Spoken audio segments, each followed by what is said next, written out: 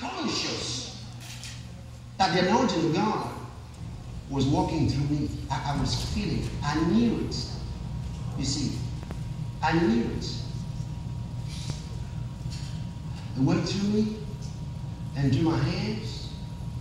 It was as though I was about to minister to people, but I was there. I sat down and enjoyed everything, but I could feel it.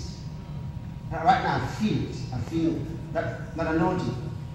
See, for example, um, I should be in the healing school tomorrow. Yeah.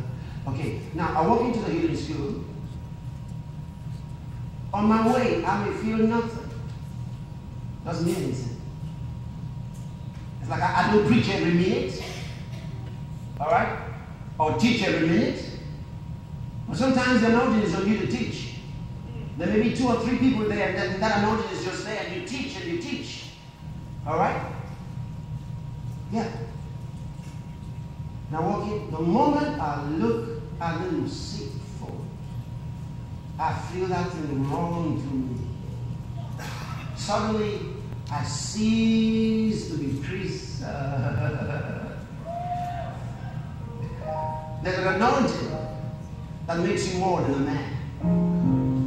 I, feel an anointing even now. An anointing.